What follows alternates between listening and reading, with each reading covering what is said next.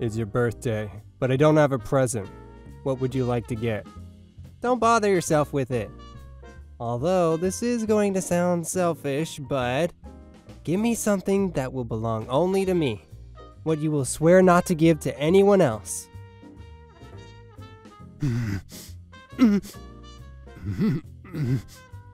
Don't tell anyone or I'll hit you.